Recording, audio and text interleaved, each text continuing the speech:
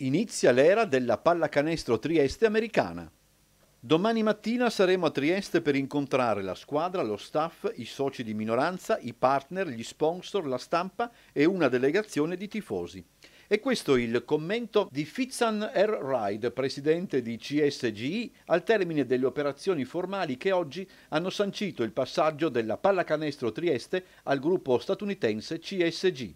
A Milano l'Assemblea dei soci della Pallacanestro Trieste ha approvato il bilancio al 30 giugno 2022, chiusosi senza perdite. Il consiglio di amministrazione della società si è concluso con le dimissioni dei componenti, dopo aver nominato il nuovo consiglio di amministrazione, secondo gli accordi stabiliti con gli americani. Quindi la formalizzazione del passaggio del 90% delle quote, al termine delle quali è stata convocata in via straordinaria la prima assemblea dei nuovi soci.